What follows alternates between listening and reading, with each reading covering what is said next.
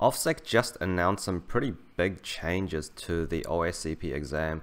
They just put out this post yesterday on December the 1st and a lot of things are changing in the OSCP. We'll just scroll down to the bottom and note that these changes will be happening on January the 11th. So it's just over one month away.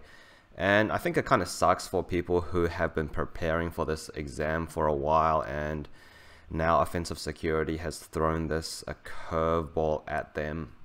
Uh, because if we scroll to the top, I think the most important thing to note in this change is that there will be Active Directory and potentially pivoting added to the exam.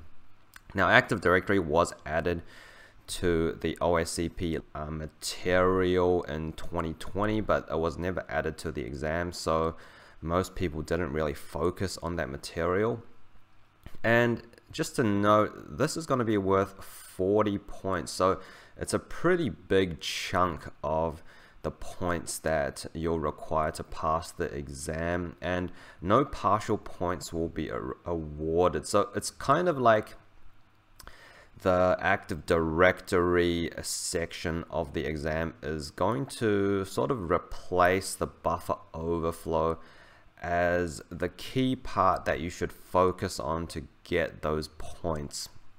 Uh, because buffer overflow is going to be relegated down to only 10 points and those points may not even appear in the exam. So buffer overflow may not even be included in the exam and even if it did it would be only for a low privileged a 10 pointer so pretty big changes.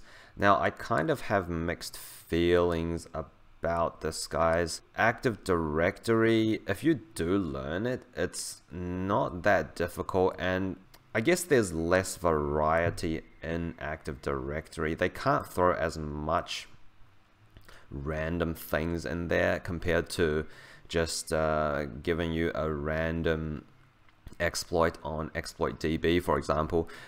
Active Directory is pretty methodological I would compare it perhaps to the buffer overflow in the old exam. Yeah I mean if you study Active Directory I guess you would be happy about this change. It is a good change in terms of focusing more on the Active Directory side of things, it's definitely useful and applicable to a real pen testing job.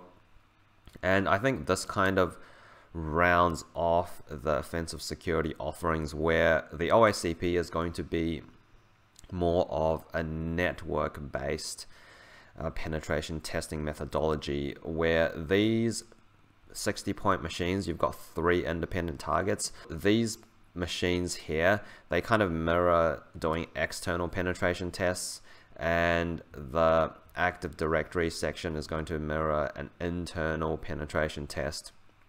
And Offensive Security also came out with a level 200 web exploitation course which will teach you web app penetration tests. So it's sort of covering those three major groups of pen tests that is pretty common if you're looking for a pen testing job.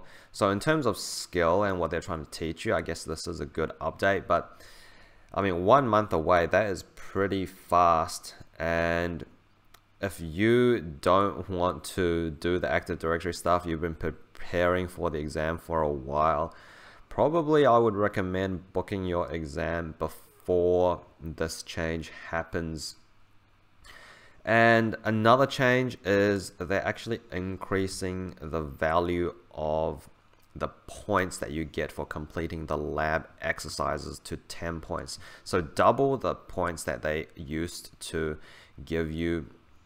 Uh, most people didn't really bother with those five points for the lab exercises because it took way too long ever since the 2020 OSCP material update. But if it's up to 10 points now, maybe that will be more worth getting it.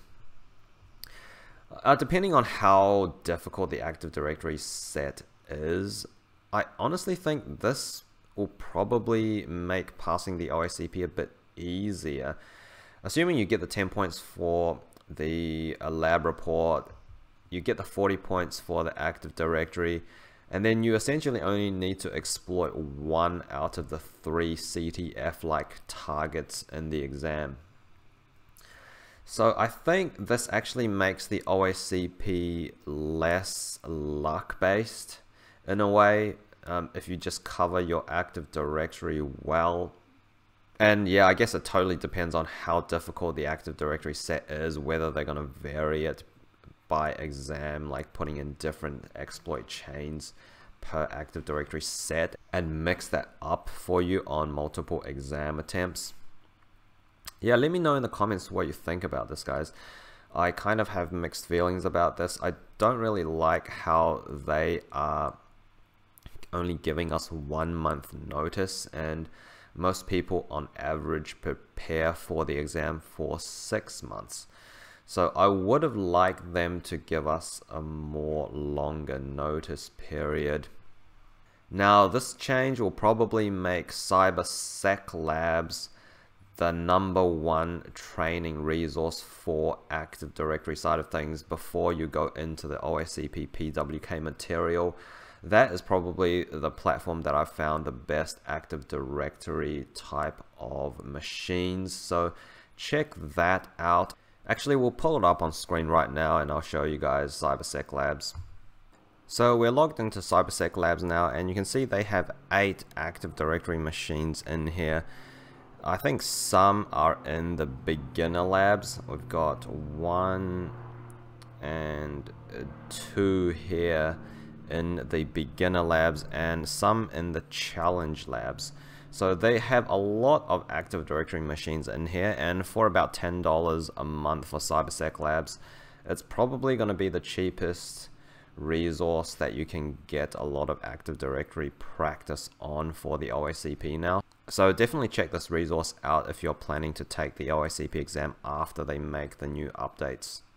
Alright, that's it for this video. Just a quick one to update you guys on the new changes for the OSCP exam. So let me know what you think about this change and um, I'll catch you in the next video.